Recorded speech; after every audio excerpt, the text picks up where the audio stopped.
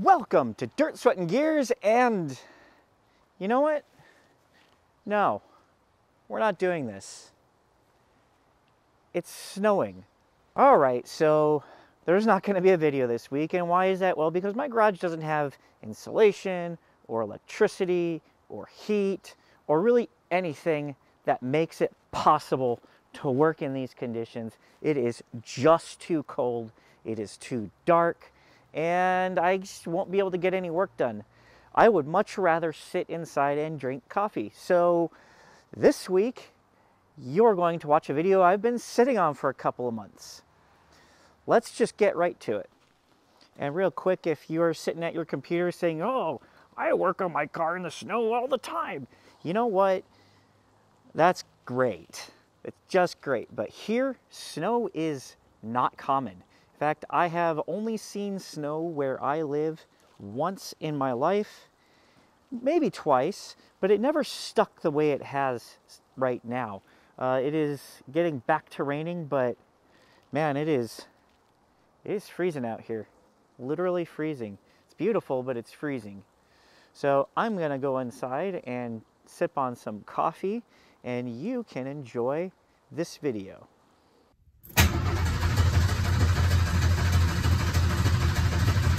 Welcome to Dirt, Sweat, and Gears, where the homes are broken in more ways than one. Ooh, that was dark. We are here on location at my newest project. This is my house. This is a house I didn't buy. This is a house I do not want. This is a house I did not pay for. Screwing around aside, this house used to belong to my dad. He passed away in April of this year, and uh, my brother and I acquired it uh, as, as our inheritance. And so, being that my dad did not, uh, was not a man of means, well, let's just say that, uh, this house is uh, pretty much all he had to leave us. So, uh, when we acquired this house together, uh, it was actually a pretty smooth transition to having the title transferred. I decided that uh, I wanted to try to uh, maximize its value as much as I could. So you could say that this is uh, a, a, video about investing uh, as much as it is about projects. Um, but um, I decided I wanted to bring its value potential up as high as I reasonably could uh, without uh, really killing myself. And I gotta say, I almost did so my brother agreed to the, me doing this work, and since he's out in Texas, uh, I am, am, local nearby. Uh, I decided that I was going to do as much of the work as I could myself, not only to save costs, not only to maximize value potential with as little money as possible, but also uh, because I enjoyed the work and uh, I lived in this house. I lived here from, I think I was about between 19 and 23, 24 is when I moved out. I moved uh, out probably three times when I was living here. When my dad and I moved here, uh, this is when our relationship kind of uh, took a nosedive. Things weren't very good between us, and this was uh, really kind of a way to reconnect with uh, not only that time of my life, but to also kind of bring closure to uh, my relationship with my dad. Now, we did patch things up before he passed away. I'm really happy about that. We both made uh, an effort to be better people and to be better to each other. And I'm really grateful to that. I am not to go any deeper than that into any of these things because that is really quite personal. And also, that's not what this channel is about. This channel is about the project you're here, well, really you are, thought you were here to see a car, but uh, you most definitely not. Uh, this is, this project has been, uh, really I thought this was gonna go pretty quickly. When my dad passed away, he left behind three roommates. Uh, one of them was his caregiver and her partner, as well as uh, a friend of his from work living in the other room. And because this is a manufactured home, there are rules to home ownership in this HOA. And one of them is that uh, you can't own this house unless you intend to live here. Well, I have two houses of my own. I live in one of them. I have uh, a lot more land than this, and I really enjoy my houses. I don't want to live here. So I have to get rid of the house. And uh, that meant, unfortunately, having to deliver some bad news to good people. And uh, they had to leave. Once they were gone, I thought this was going to be a relatively straightforward process. And boy, oh boy, was I wrong. This project was three straight months of the hardest work I've ever done in my life. And the reason why I didn't bring you on this journey, uh, aside from some personal reasons, was because um, painting takes a long time. It takes a lot longer than you might think. It took a lot longer than I thought, that's for sure. So enough of me standing here. Let's go outside. Let's take a walk around this house. I'm going to show you uh, some of the things that I did, some of the quirks and features, uh, if I'm going to be Doug DeMuro for a minute. Uh, and then we're going to come back inside and I'll talk about some of the work I did in here because it's uh, quite extensive. Let's go. So we're outside the house here. It is kind of late afternoon-ish. And uh, this house, uh, the front of the house faces eastward. The master bedroom faces westward. And uh, we'll talk about the view from the other side because it is actually quite spectacular. But in the front here, you see I have uh, painted everything. And so while we do this uh, kind of show and tell, I am going to show some slides of uh, pictures from uh, before and after and some of my process photos. So in the front here, we have the approach, just a really nice color scheme. Uh, the plants were already well kept. I added most of these rocks. Uh, however, I didn't get to complete this project, unfortunately, because my Jeep broke. So I had nothing to move the rocks with. And uh, you're not moving 500 pounds worth of rocks in a Mazda Miata. Uh, so we have the front bay window here, which is really, really nice.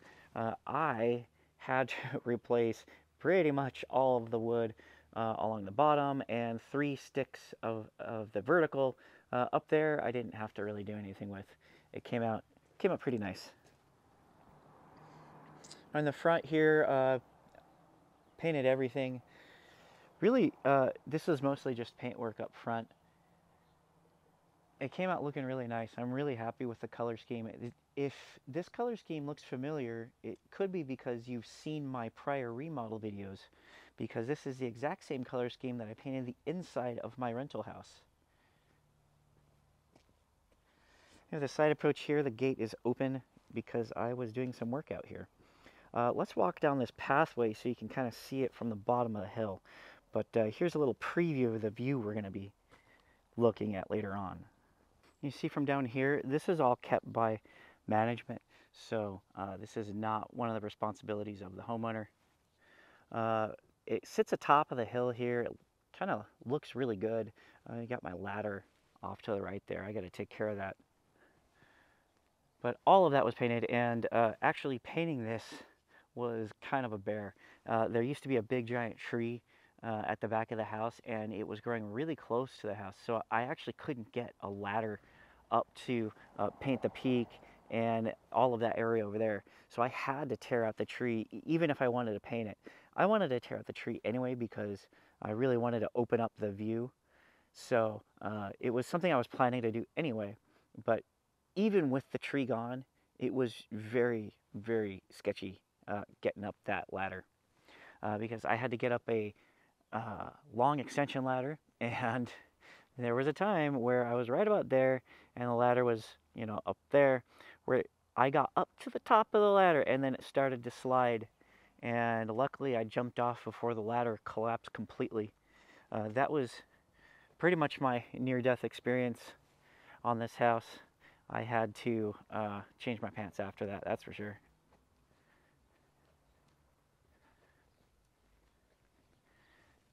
And I did uh, paint the inside of the fence. I didn't paint the outside of the fence because um, I don't care. Thankfully, I'm not the one selling this house. to, to just say, oh, I don't, I didn't fix that because I don't care. uh, these uh, cinder blocks, I'm gonna, I'm gonna stack up in a few minutes once I'm done with this video. But out here we have a, a patio. Uh, there used to be a jacuzzi there. Uh, it was probably original to the house from 1988, 1989. And it was, we demolished it because it was about ready to demolish itself. So we have here a sunroom.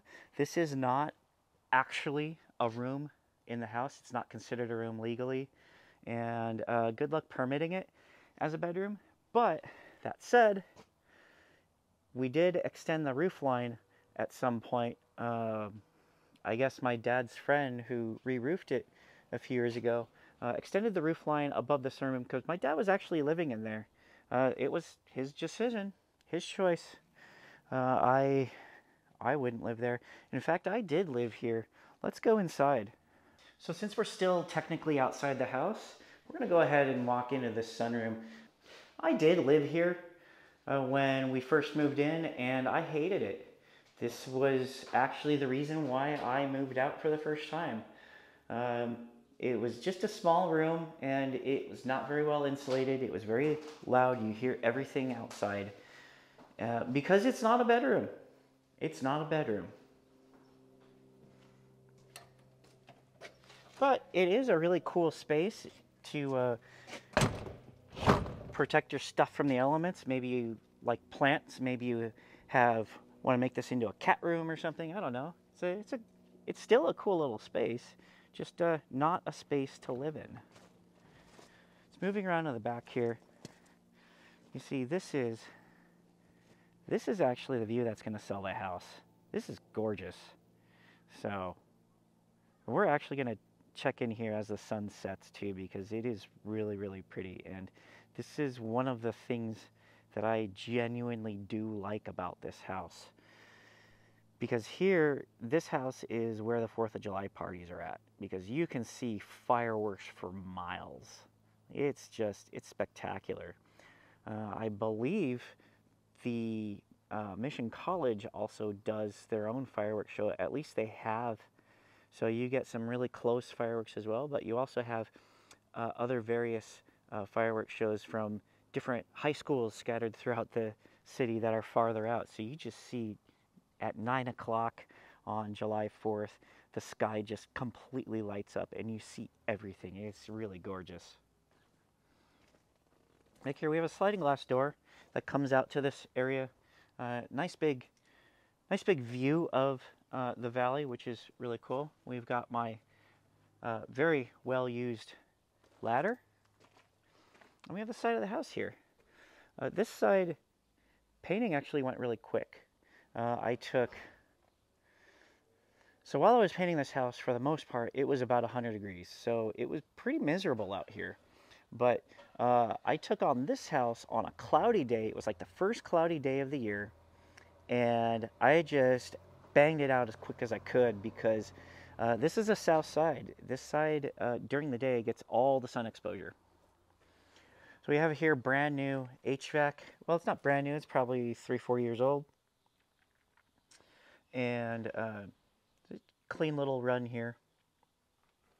That satellite dish that I could have taken down, but didn't because I don't care. Let's go into the house. We're going to go in through the front door because we're not savages. And I've replaced the doorknobs and the locks, painted everything. Doorknobs and locks uh, really made a huge difference in this house. Really makes it look better. Actually, let's go into the garage. So before we get too far into the house, we're to take a quick look at the garage. It's what you'd expect from a garage. There's, there's nothing weird about it. Uh, of course, I have the trash cans in here because they're full of trash. Trash day, I'm going to roll them out and uh, they'll be nice and empty. And all my stuff, that's going to go to, actually, we're picking that up tomorrow with my contractor's actually going to help. It's really nice of him. So you have the breaker sub panel here. This is the first time I've ever seen that panel closed. The entire time that I have known my dad, the entire time I have known this house, I have known that panel to be just hanging open. You see, I have this nice bicycle. Um, it, it must have belonged to one of the previous occupants and they don't want it. And this is actually a nice bike. So uh, I'm, I'm gonna, I'm gonna give it a try. I don't know if I'll actually write it, but maybe. Let's close that and move on to the inside. So inside here, uh, we have a nice big opening that leads into um, more or less openness. There's a, a, great big, great room, I guess is what it's called. Uh, nice, really nice high ceiling in the entryway here. Uh, this was uh, kind of, so the first thing that I had to do when I got inside this house was paint the ceiling. If you've ever painted a popcorn ceiling, you know what I'm about to say. It's a nightmare. There's no way to slice it. It's terrible. There is no good way to do it. You can spray it, but my sprayer failed and I actually had better luck rolling it. So I rolled the ceiling and I went through about 15 gallons of paint. It was terrible. In here we have the kitchen. I didn't do anything to the kitchen other than the floor. These are the appliances that came with the house. They are going with the house. Uh, I don't have a taste for white, uh, but they don't look bad considering the gray floor and off gray walls. Let's turn on the lights here. So this up here, I actually uh, just did the uh, light ballast yesterday so uh, this one is brand new, which if you have any sense, you're just gonna rip it out anyway and replace it with LEDs.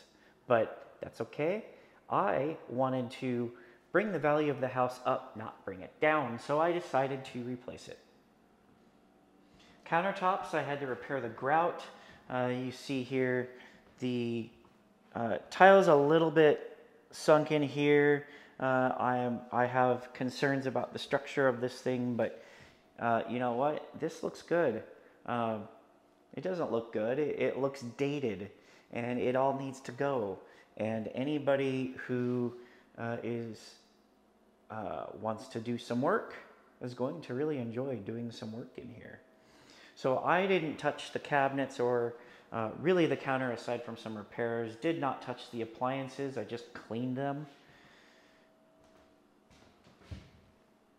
And it even has some old floor tile in the cabinets, uh, whatever. I also did not replace the receptacles. I replaced the outlet covers because I wanted uh, all of the outlet covers to match and I wanted them all to be there because some of them were just missing. The vents in the house, don't ask why there are two right next to each other. Actually, let's address this. There are, looks like there are two vents next to each other, but that one over there is non-functional. It is just a box. See? It's just a box. It goes nowhere. So this collects trash. I figured I would put the only mismatched vent in that spot and close it so that it doesn't continue to collect garbage. This great room actually looks really nice. I'm really happy with how it came out, especially with the floor and the, the trim and everything. So I added this room. Actually, I paid to have this added. This was the project that I hired my contractor to do, and he did an amazing job. I, uh, kind of a last minute decision, decided we should go with a double door because this is a bedroom. But if you did not want to use it as a bedroom, you could open up both doors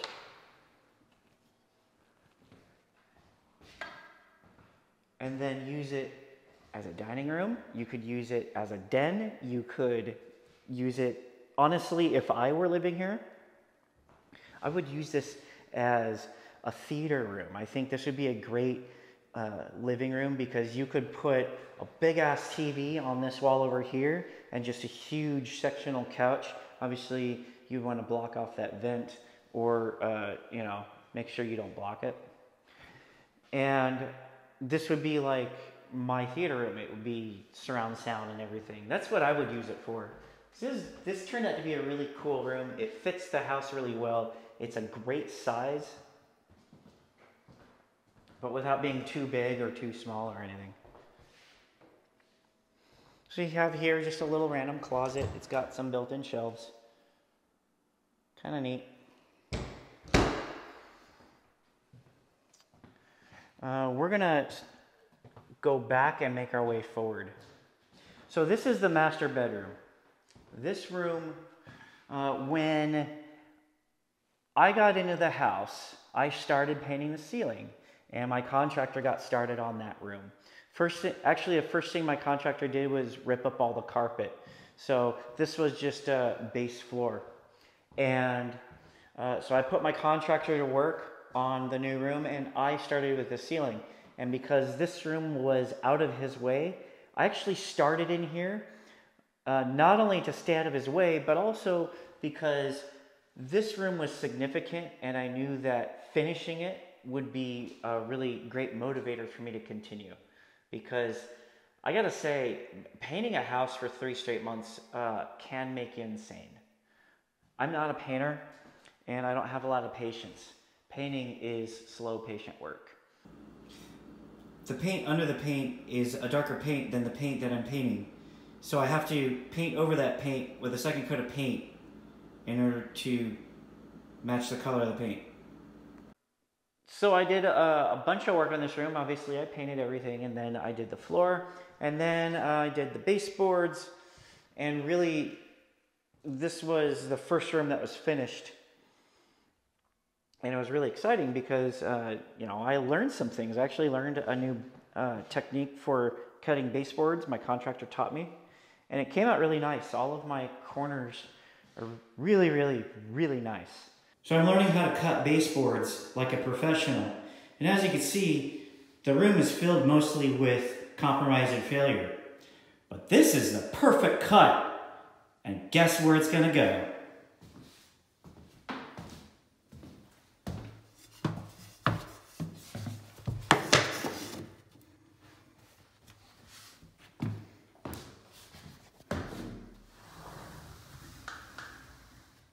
Best cut ever. I'm told I should seek therapy. They say that this is just a coping mechanism.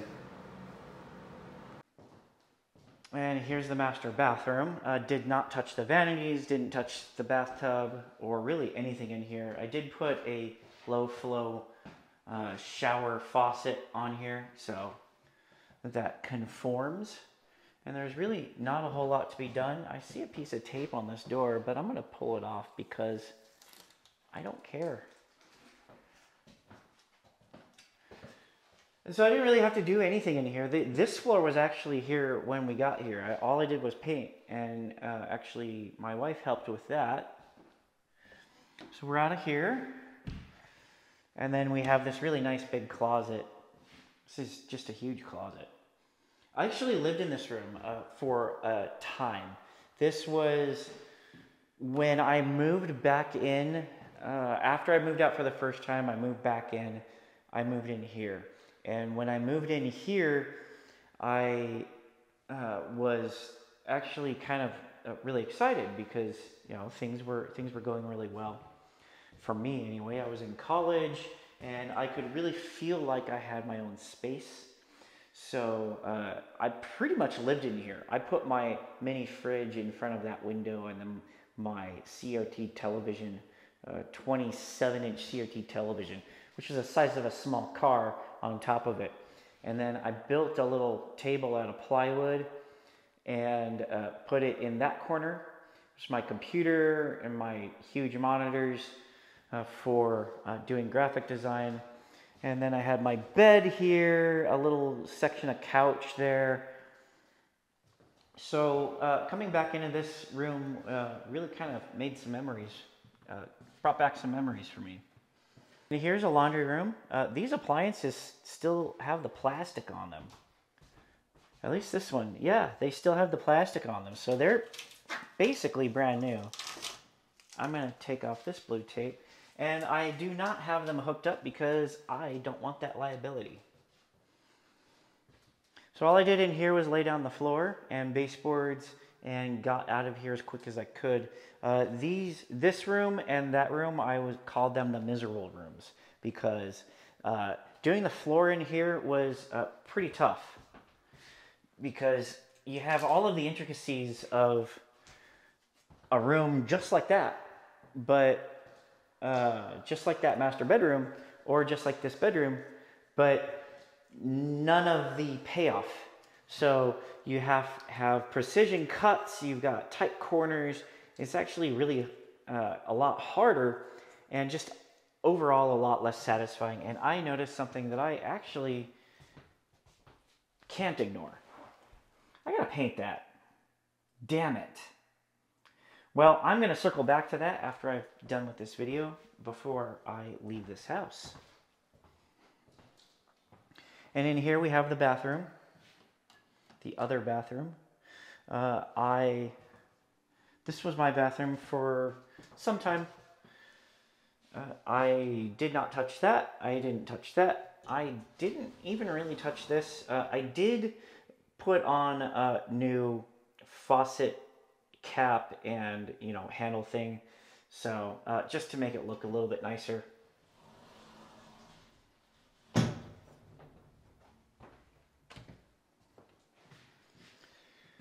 And then I lived in this bedroom for a while too. I lived in every bedroom in this house. But uh, this room was, this, this room was less good times. This room brings back mostly bad memories. Uh, I did not live here long. This was uh, when I moved out for the second time. Yeah, so um, after I moved out for the first time, I moved back in. I was in here. And then when I was living here, my dad decided he wanted me to live there. So he moved all of my stuff. Just, I came home from school one day and all my stuff was in here. So I had to make it work. Still a good room though. It's a good size. I just uh, didn't want to live here. And moving back out into this room and so when I moved back in for the third time, the third and final time, I moved back into this master bedroom and I was like, okay, things are going to be better this time. I painted everything. Uh, I uh, bought blinds and everything for the, for the room. I, I made it a really, really nice room. And I lived here for another year or so before I moved out for the final time. But look at this view. Look at this. This is awesome. This is really, really great. So that's the tour of the mystery project that I've been working on for the past few months. Really, with this house, uh, this was a project that I wasn't expecting, a project I didn't ask for. I, I kind of asked for it, uh, and certainly a project that uh, that uh, took a lot out of me uh, both both financially and emotionally, just because of the uh, emotional connection I have with this house, with a previous owner of this house, uh, and so there was really kind of a lot going on here with me working on this place, and I'm really relieved, really happy to be done. I'm really proud of the work I did. I I, th- I learned a lot on this house. I learned a lot about uh, flooring finishing work and the, the, the, the technique for doing baseboards was actually something that I'm really, really grateful to have learned and practiced here because I can't wait to do it on my own space later on. Now, that's a good segue into selling this house. So, my brother and I uh, are co owners of this house as uh, my father's heirs. So we are putting it on the market and uh, hopefully going to sell it for lots of money. And I am rolling that money straight into another project that I cannot wait, that I definitely will be making public because this is going to be such an amazing experience that uh, I will uh, be endeavoring on. So, uh, for that, I got to say I'm uh, very grateful uh, to have uh, to have done this work, and very grateful to have had the opportunity to get this house. When you're working on something for so long, there, there comes a point where it feels like it's never going to end. And feels like you're not making any progress, especially when I was painting. Painting was probably the worst. And once I got done with that, there was the floor. The floor was when I really felt like I was picking up steam, when I really felt like I really want to get this done. This was that that was actually a time where I had to temper my my patience the most because I wanted it done so badly, but also I knew that this was not the time to take shortcuts. This was not the time to uh, skip things. I had to carefully analyze everything that I was either going to do or going to not do and decide if it was really worth it. Not just that I didn't feel like it. I mean, really, I didn't feel like being here at all. I felt like staying home and fixing my own cars. I felt like, you know, uh, just drinking beer all day. But uh, no, I had to come out here and do this work. So I really had to decide what was worth stopping for and what was worth leaving behind. And as you saw in my walkthrough, there are a couple of things that I made the analysis and I decided it was better to leave something behind. Uh, and there are some things that were better to uh, pay attention to and to get right. So that was a, a huge, really important exercise for me. And I learned a lot about uh, myself and my workflow and how I get things done. And uh, I also got to say, this was the hardest I have ever worked in my life. Um, this is not my job. I'm not a contractor. I'm not a laborer.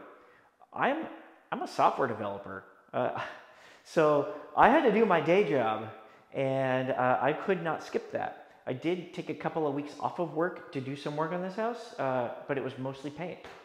And so that was very unfulfilling. So I had to work my day job. I got up in the morning, and I had, by the way, had cars breaking down. So I would get up in the morning, work on a car, then do my day job, then come here and work my ass off until 9 30, 10 o'clock at night. That was hard. Um, that was hard. I'm glad I did it, but I would not choose to do it again if I could help it.